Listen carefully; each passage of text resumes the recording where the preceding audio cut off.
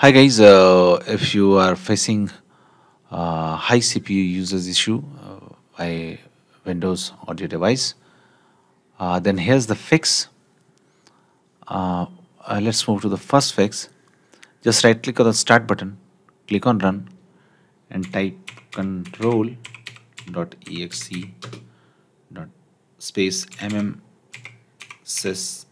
cpl space sounds okay now click on ok and the sound control panel will open up.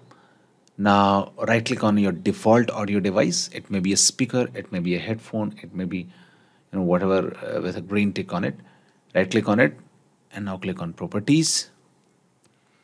Now click on advanced. And now uh, just try uh, with a lower you know bit rate um, in my case it is 48,000 hertz. So let's try with uh, a lower bit rate okay? And now click on apply and click on ok and see if this CPU uses have come down okay?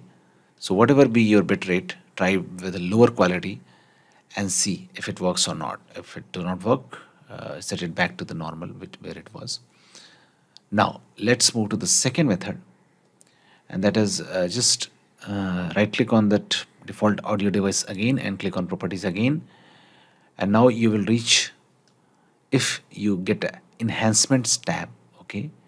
If you have an enhancement tab just click on enhancement tab. And then just check this option disable all sound effects okay? And click on apply and click on ok okay? Now if there is a communications tab also so click on communications tabs as well and check this option do nothing okay? And now click on apply and click on ok so these uh, this is the second method with which your uh, audio device users will uh, come down. That's it guys. Please do like the video to support us and thanks for watching the geek page